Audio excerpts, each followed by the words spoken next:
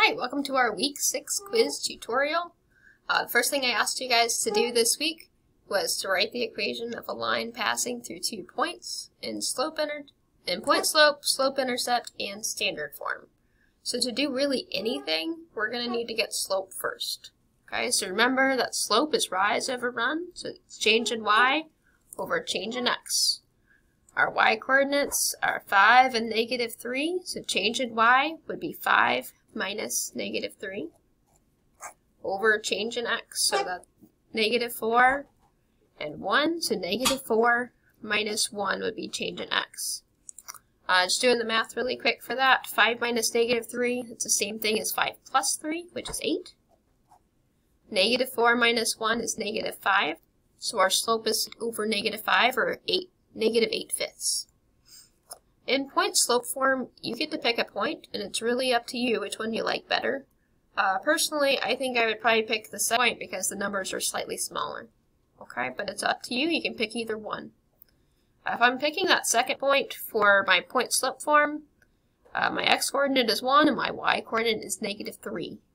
So we're going to do y minus the y-coordinate. So y minus negative 3. It's the same thing as y plus 3. Equals your slope which is negative 8 fifths, parentheses, times x minus the x coordinate, so that would be x minus 1. And that's what point slope form looks like. You can certainly use the other point if you'd like to. If you use the other point, the point slope form would be y minus 5 equals negative 8 fifths times x minus negative 4, which is the same thing as x plus 4. So that's what the other point, point, point slope form would look like. Uh, to go from point slope form to slope intercept form, really what you're doing is distributing and then getting your y by itself second. Okay? So distributing first, I would have negative 8 fifths times x. So that would be negative 8 fifths x. And then I'll have negative 8 fifths times negative 1, which would be positive 8 fifths. Then if I want to get my y by itself from here, I would just subtract 3 from both sides. Okay. So I'll have y equals of negative 8 fifths x. And then I need to actually do the, the subtraction over here. So 8 fifths minus 3, I do need a least common denominator, so that would be 8 fifths minus 3, which is 15 fifths. So 8 fifths minus 15 fifths is negative 7 fifths. So I'll have equals negative 8 fifths x minus 7 fifths. And that's slope-intercept form. To go from slope-intercept form to standard form, first thing I really need to do is get x's and y's on the same side. So what I'm going to do first is add 8 fifths x to both sides. So I'll have 8 fifths x plus y equals negative 7 fifths. And then in standard form, all of our coefficients should be integers. So to get it from here to where everything's an integer, I'm going to multiply by my least common denominator, which is 5. So I'm going to multiply both sides by 5. 5 times 8 fifths x is just 8x. 5 times y would be plus 5y equals Negative 7 fifths times 5 is negative 7. So that's our standard form. Okay. Switching gears for number 2 is all about exponent rules. And made you a little note that simplified expressions should have only positive exponents. So if you have any negative exponents, we'll have to deal with them at some point. Okay. But the first one is pretty straightforward. Everything's just multiplied together. Uh, 2x squared y to the fifth times 3x squared y. Okay? So you're multiplying everything together, so multiplying 2 times 3 would be 6. Then you're multiplying x squared times x to the 7th. Well, x squared is x times x, so that's just 2 x's. x to the 7th is 1, 2, 3, 4, 5, 6, 7 x's. So all in all, that would be 9 x's multiplied together, or x to the 9th. And that's why you add your exponents when you're multiplying them together. It's the same idea with your y's. You're doing y to the fifth times y. So that's 5 y's. 1, 2, 3, 4, 5 y's. Then you multiply by 1 more y, which would give you y to the 6th. Okay. So putting everything together, your answer should be 6x to the ninth y to the 6th. With the second one, part B, we've got 4a to the negative third, b to the fifth, and the whole thing is squared. So with everything being squared, it means that you're multiplying that entire parenthesis by itself. Okay? Uh, so really you're squaring every single thing. You're going to do 4 times 4. You're doing 4 squared, which would be 16. You're going to do a to the negative third squared, which would be a to the negative sixth. And you're doing b to the fifth squared, which would be b to the tenth. Okay? So just reminding you guys, if you have an exponent raised to an exponent, you do multiply them together. So you're doing 3 times negative, negative 3 times 2 is negative 6, 5 times 2 is 10. Okay? The last thing we need to do, though, is deal with our negative here. So we do have a negative exponent, which just means it's in the wrong place and needs to be moved. Uh, so instead of being in the numerator like everything else, we're actually going to move that to the denominator. So we're going to have 16b to the 10th in the numerator, and a to the 6th in the, in the denominator, since the a to the 6th had a negative exponent. And then we're done.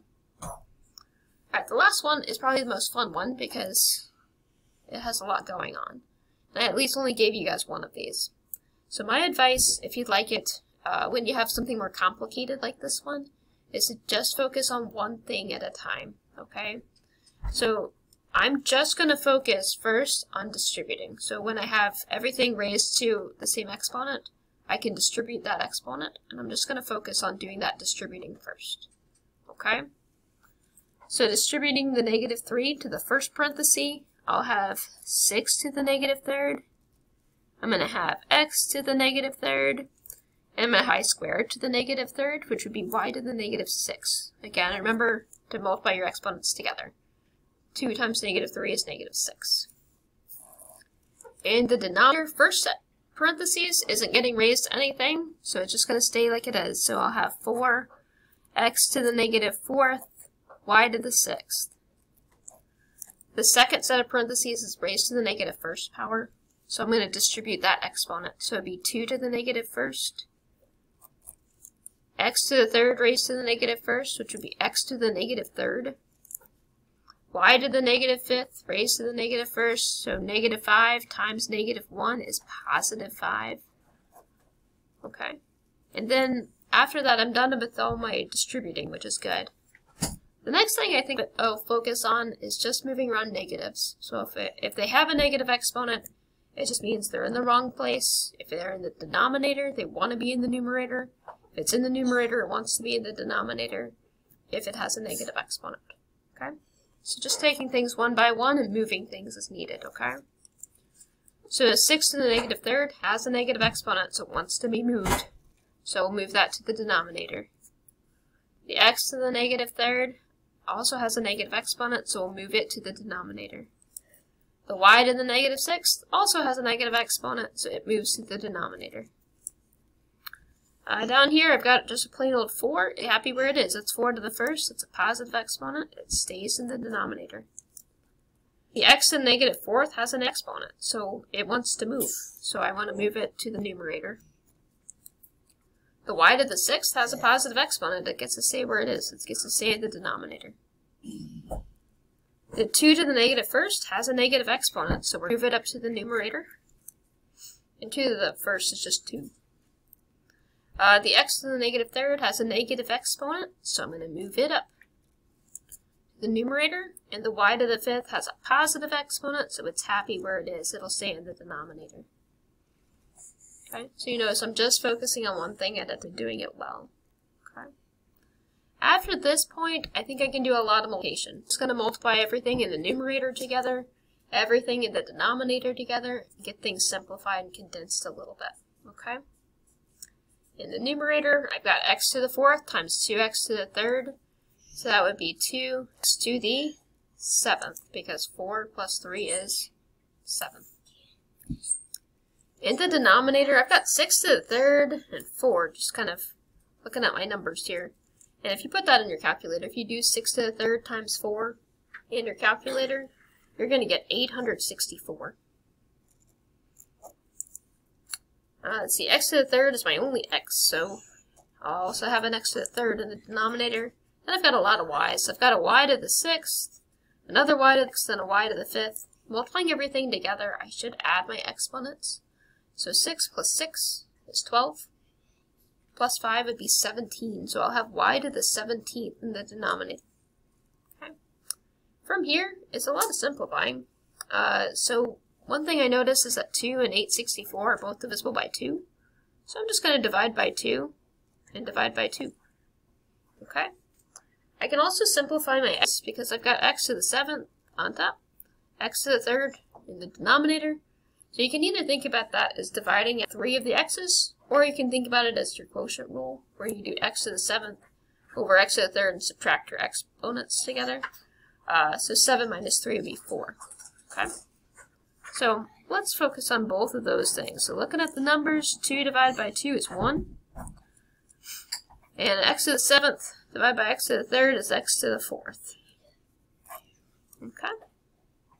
In the denominator, uh, 864 divided by 2 is 432. And if I do x to the third divided by x to the third, there's no more x's left in the denominator but I will still have the y to the 17th in the denominator. And I'm finally done. Okay, this helps you guys a little bit. And I hope you guys have a wonderful week and a great spring break.